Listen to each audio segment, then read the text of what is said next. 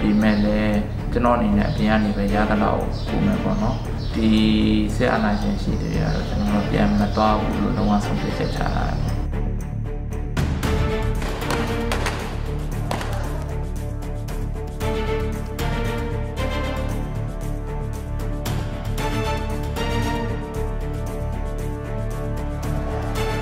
အာကိုယ်တိုင်ပြောရမယ်ဆိုရင်ကျွန်တော်ကဒီစစ်သားတို့ရဲတို့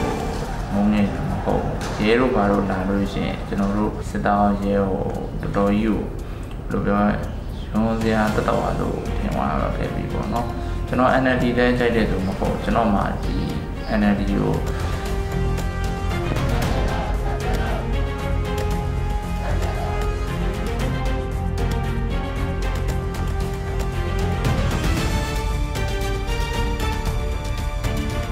အာပြောရရင်တော့ကိုယ့်အကိုလက်လန်းမိသလောက်လူနာလေးကိုကယ်နိုင်တဲ့လောက်လူနာလေးကိုရအောင်ကယ်ဖို့အတွက်ကိုဒီနေ့တိုင်း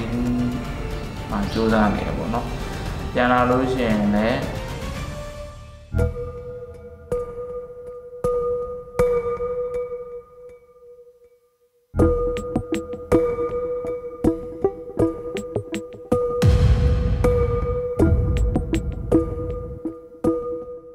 They are suffering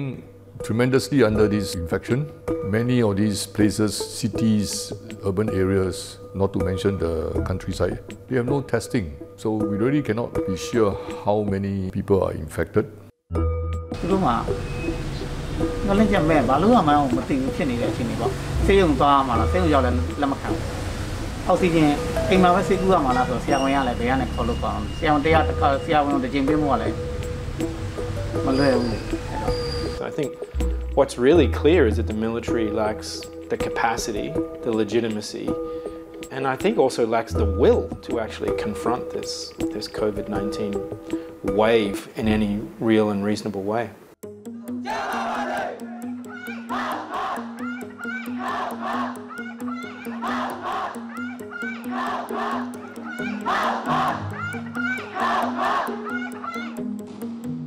ကျွန်တော်တို့နိုင်ငံကကျွန်တော်တို့တိုင်းပြည်ကအခုရှစ်ဖြစ်နေပြီရှစ်ဖြစ်နေတဲ့အချိန်ကိုကျွန်တော်တို့ကြုံတွေ့နေရကျွန်တော်ကတော့အမှန်တိုင်းပြောမညှိနှိုင်းစေချင်တော့ဘူးညှိနှိုင်းလာတဲ့ဟိုညှိနှိုင်းကြတာများပြီဗျာဥပမာလည်းပြောရမယ်ဆိုရင်ဘာလဲကျွန်တော်တို့